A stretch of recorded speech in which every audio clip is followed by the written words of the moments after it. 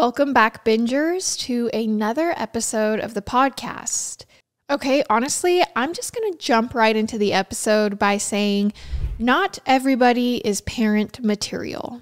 Probably a good third of the population or greater isn't parent material. But people who aren't fit to be parents have kids anyway, and many of those kids will grow into troubled adults, some of which themselves will become unfit parents, and the cycle just perpetuates itself. No one likes to talk about child abuse, it's a taboo topic, and people often prefer to turn a blind eye to it. And there's this kind of bogus notion that how people choose to raise their children is nobody's business.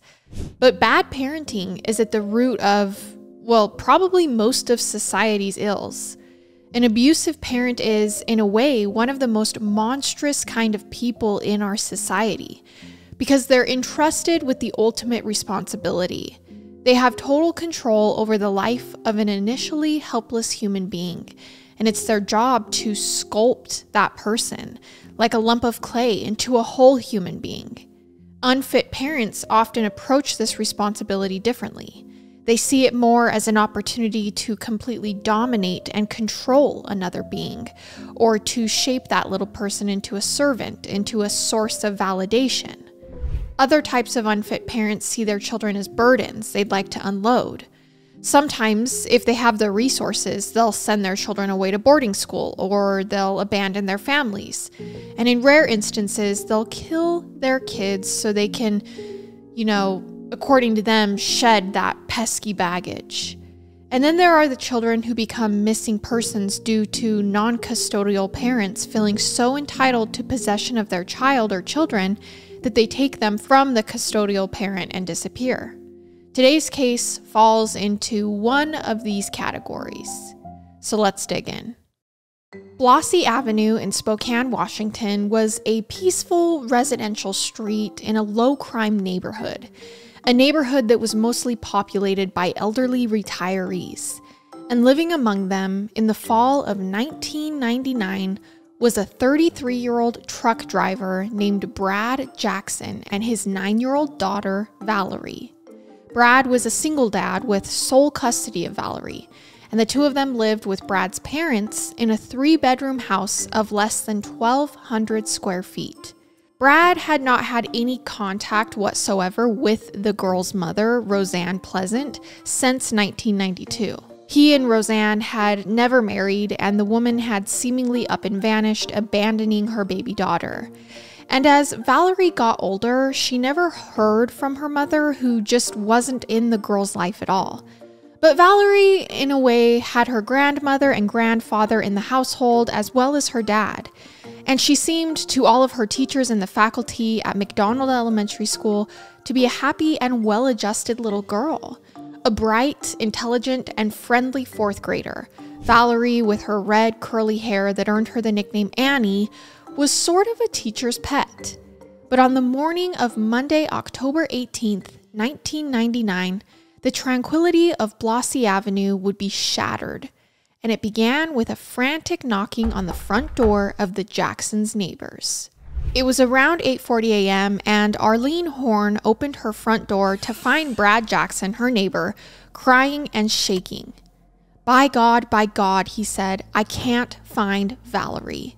He explained that he had been getting ready to walk Valiree to school, and as she was in the backyard playing with the dog, he went down to the basement to do the laundry and he heard the garage door open, which meant that she'd gone into the front yard. And at 8:30, when it was time to go to school, he went to the front yard to get her, but she was gone. Her backpack was on the front steps of the house, and Valiree was nowhere in sight.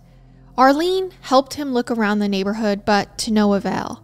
Brad went to Valiree's school and asked if anyone there had seen her. Maybe she walked on her own, but she never showed up. At 8:45 a.m., Brad called the Spokane Sheriff's Department. In a weepy and quavering voice, he told the dispatcher he couldn't find his daughter, that they were getting ready to go and she'd gone outside to play because she was done early and now he couldn't find her. He gave a description of his daughter brown eyes, red hair, and described in exact and precise detail everything Valiree was wearing that morning. Six detectives and three trained dogs were immediately dispatched to the Jackson address. They searched the inside of the house thoroughly, two times, but the girl wasn't there. Brad, in going through his account of that morning again during the search, explained that he'd been in the basement doing laundry when Valiree vanished. And when he was asked what he was washing, he explained he was washing Valiree's bed sheets because she had suffered a nosebleed the night before. During the search, one of the investigators, Detective Dave Madsen, found blood spots on Valiree's pillow and some faded blood on her sheets, which seemed to corroborate Brad's story, though he didn't find anything else in the house that would have been used in stopping a nosebleed, like bloody paper towels or towels or anything like that, which he thought was a little interesting. He asked if he could take the sheets and pillow, and Brad had no problem with this. So he was being cooperative and seemed genuinely distraught by his daughter's disappearance. Exploring the possibility that Valiree had walked to school by herself, detectives contacted administrators at McDonald Elementary, but again, as they told Brad earlier in the morning, they hadn't seen her since the previous week. As noon struck, police and volunteers from the neighborhood began a larger search effort for Valiree. One of the volunteer searchers from the neighborhood was Shelley Eagland, who happened to know Valiree well. She was a crossing guard and also a teacher's aide at Valiree's elementary school. She arrived at the house and consoled Brad, who seemed beside himself. She then helped in the search while Brad stayed behind at the home. The searchers went house to house, block to block, covering about 120 homes in the area, but nothing turned up. And during the neighborhood canvass, not a single clue to explain what might have happened to Valiree. Could she have run away? Valiree was not a troubled kid. She'd never run away before and had no known problems at school or with her family, nor had she ever talked about running away. So her disappearance was a complete mystery. Neighbors and friends were shocked. No one at her school saw any signs of trouble. The McDonald Elementary faculty was hit hard by the news of her disappearance. They considered Valiree like a member of their own families. When Karen, Brad's mother, returned home that afternoon and discovered Valiree had gone missing, she prepared a written statement pleading for her granddaughter's safe return and read it on the local news. Brad himself appeared to be so devastated by his daughter's disappearance that he holed up in the house most of the day and was so out of it that it took him hours to provide a picture of Valiree to the news media. As night began to fall, the search was called off until sunrise. When it resumed the following morning, the sheriff's office expanded their canvas area. And upon talking to area residents, they got their first potential lead. Two days earlier, a 13 year old girl had been approached by a long haired man in a flatbed truck who attempted to lure her into his vehicle. The man told the girl he had cigarettes and marijuana, and he even offered her money but the girl was wise enough to turn him down and flee the area. Detectives connected this girl with a police sketch artist, and they sat down and created a drawing of the man who tried to potentially abduct her. People in the community now feared that a child predator had appeared in their town and they worried whose child might be next. Flyers went up in shop windows, area supermarkets, on car windows, and online. Broadcasts on local news stations asked the community to report anything suspicious. Investigators also wanted to connect with Roseann Pleasant, the girl's mother, but were having a hard time tracking her down. They learned that Roseann was a drug user and had long been involved in sex work. The last time anyone had seen her was on September 29, 1992, one week before Valiree's second birthday. She had just visited Brad and Valiree, and shortly after that visit, she phoned her older brother, John Stone, an evangelist minister and owner of an advertising firm. And Roseann told her brother she was scared. Her relatives believed that it may have had something to do with the murder of a friend of hers, a fellow sex worker, who was found shot to death in southern Spokane County, Washington, a few weeks earlier. She had gone to the morgue to identify the body, and it had spooked her. Seven years had passed since the disappearance of Roseann, and now her daughter was missing. And Roseann's family wondered if she had perhaps returned and taken her daughter, although they'd long presumed that Roseann was dead before this. And it didn't seem characteristic of Roseann, if she were alive, to cut contact with her biological family for so many years. But of course, you have to look into the mother.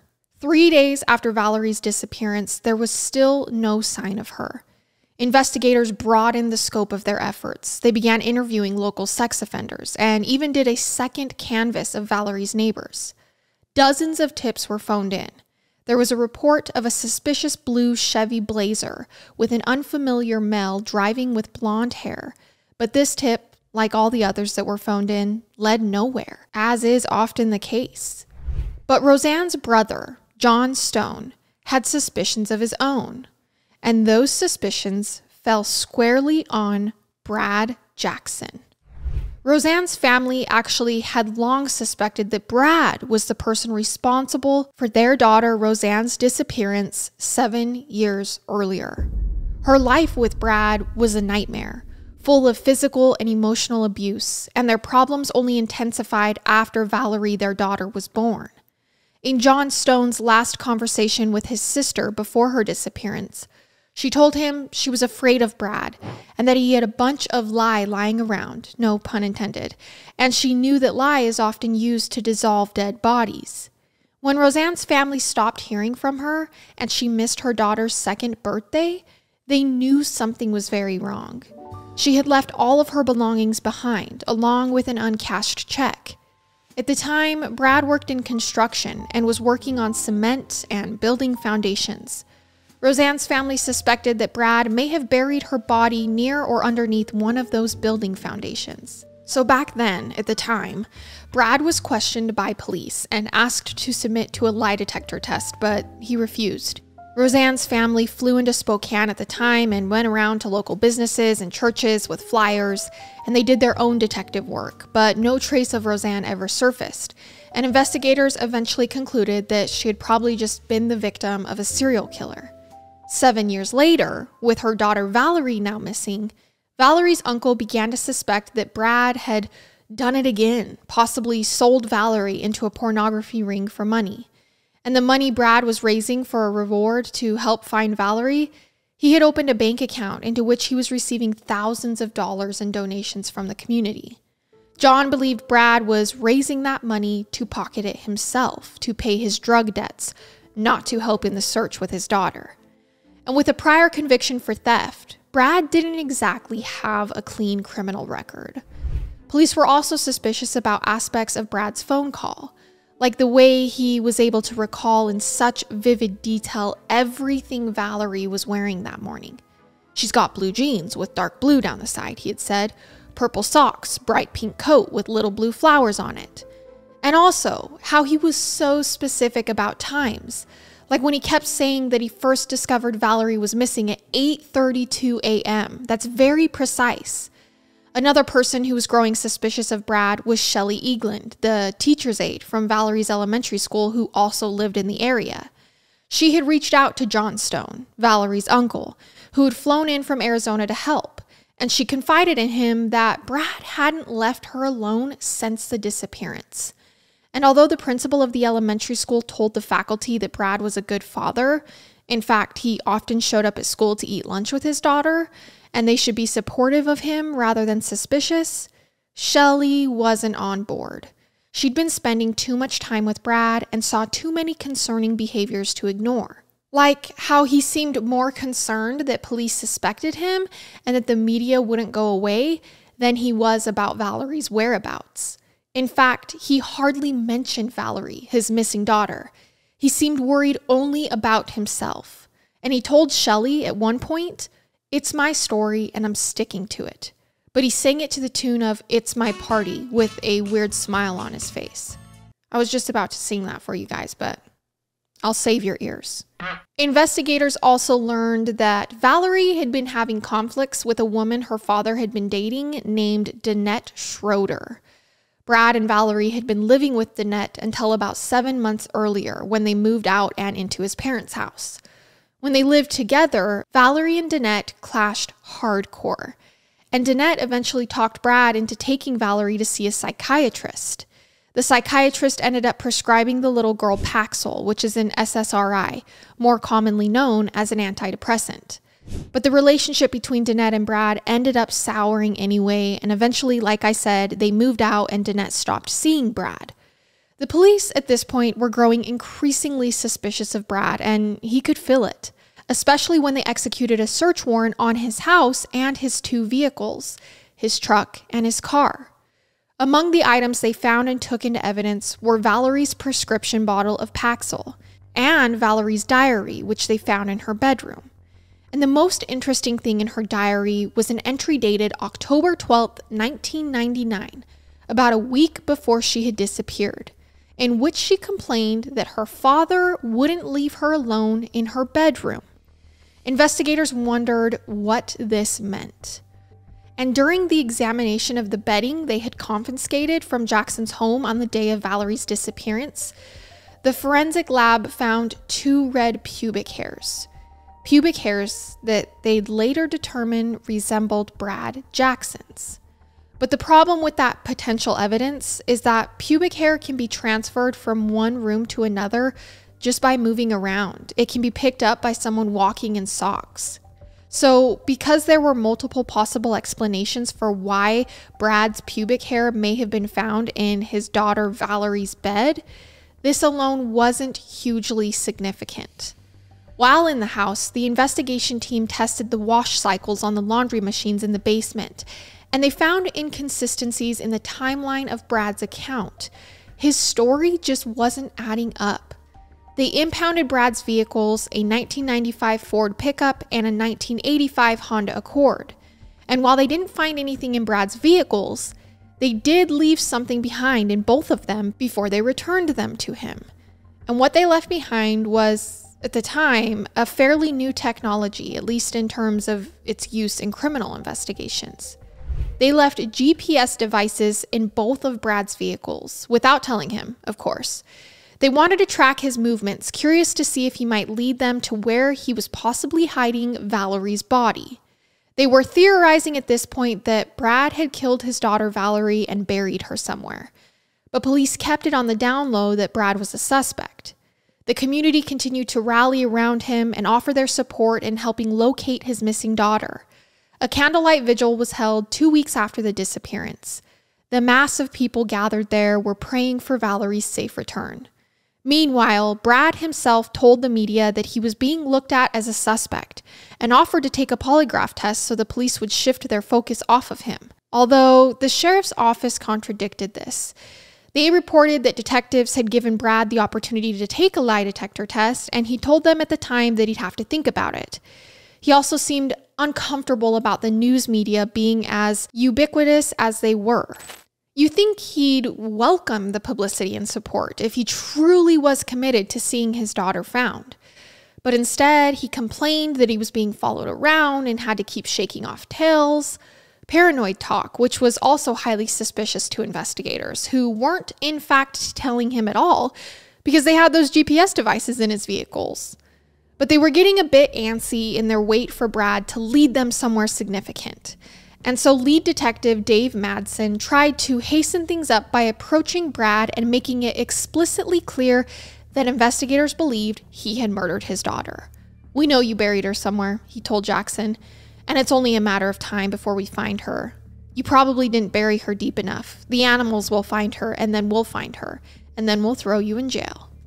Detective Madsen was hoping this would trigger Jackson to go to the burial site and bury the girl's body even deeper or take her to another location. And shortly after this conversation, they noticed that Brad Jackson had made an interesting trip, one with multiple stops. It was on the morning of November 6th, shortly before noon, that Brad drove to his rented storage unit on Highway 2. He was there only briefly before then driving to Danette Schroeder's house, where he stopped for a brief period of time. And then after this, he went on a 60 mile drive across Highway 395 to a remote area known as Loon Lake. Once he was there, he turned onto an unmarked logging road and stopped in this area, spending approximately 45 minutes at this location before returning home. It was later learned that Brad Jackson and his family were familiar with this location and they would go hunting here. And then four days later, The GPS showed that he drove to another wooded, desolate location about five miles from his house.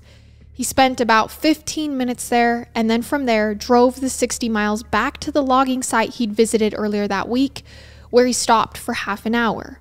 On his way back home, he made several stops, including another visit to Danette Schroeder's home and another visit to his storage unit. That same day, police went to the Vicary Road location near Brad's parents' house, and they brought cadaver dogs with them. The dogs immediately led them to a shallow grave, which police discovered was empty.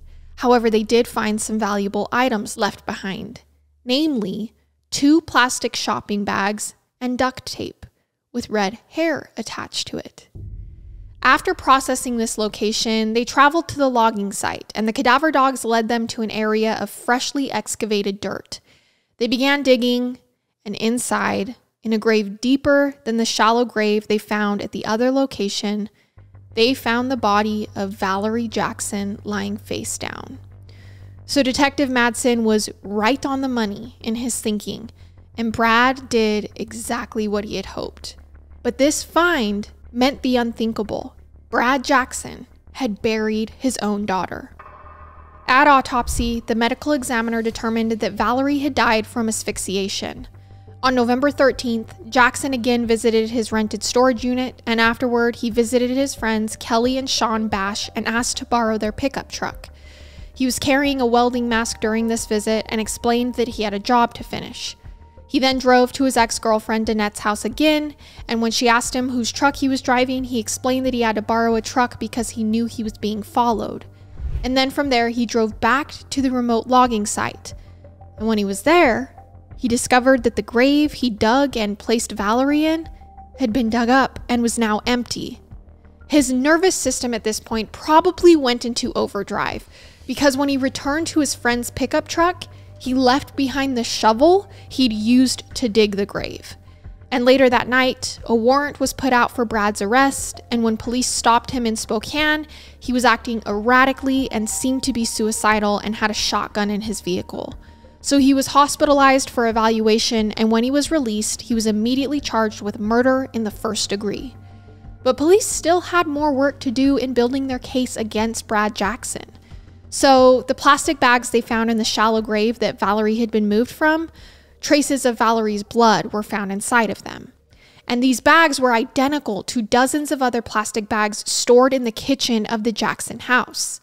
And the duct tape that was found along with the bags, that matched duct tape that the Jacksons stored in the basement. And then Brad Jackson's footwear and tire impressions were located at both grave sites and soil from these locations matched soil found in the bed of his pickup truck, on his boots, and on his shovel. To further strengthen their case, the district attorney had the plastic bags sent to the U.S. Secret Service for fingerprint analysis. They wanted to prove that Brad handled these plastic bags, which had apparently been taped around Valiree's head, which they theorized was to prevent her blood from leaking into his vehicle while he transported the body.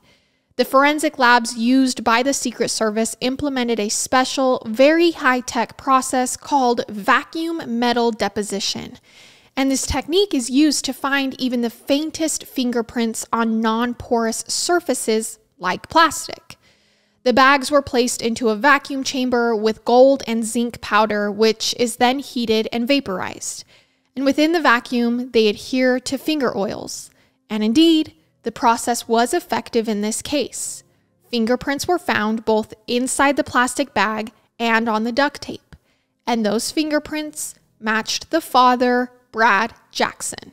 The medical examiner found no evidence that Valiree had been sexually abused, but telltale bruising around her face and nose revealed that Brad had smothered her to death probably with the blood-stained pillow found in her room and probably in the middle of the night while she slept. That was probably why he had been bothering her in her room, as she had indicated in her diary. He was probably contemplating killing her, working himself up to do it.